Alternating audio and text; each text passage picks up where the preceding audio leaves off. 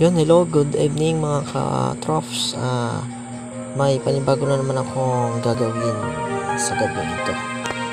May tuturo ako sa inyo na dapat yung malaman sa YouTube. Yung mga YouTuber dyan na baguhan pa lang, ituturo ko sa inyo kung paano gawin ang pagkuha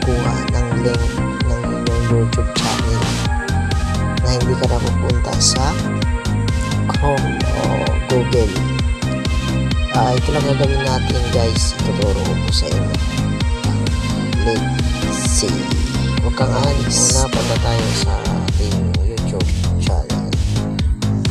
Sa ating YouTube app. Katapos niyan guys, punta tayo sa sa may profile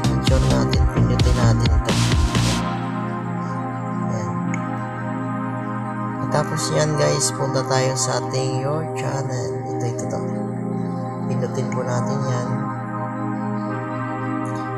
Katapos yan guys, eh, may naka, ano, sulat dito sa taas.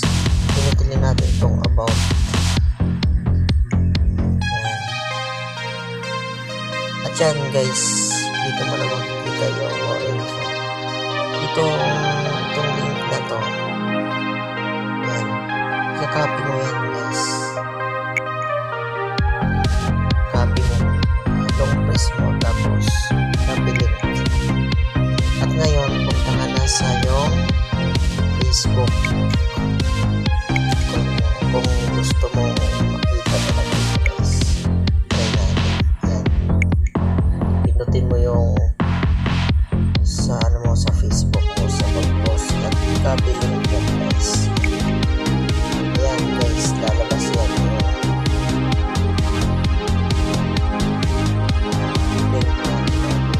Nagawa ko na to guys kaya napakita ko na po sa inyo kung paano gawin yan.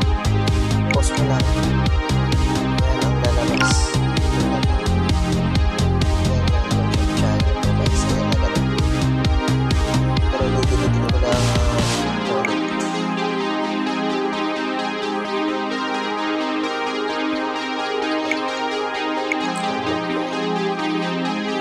Lang lang guys. At sana may natutunan kayo.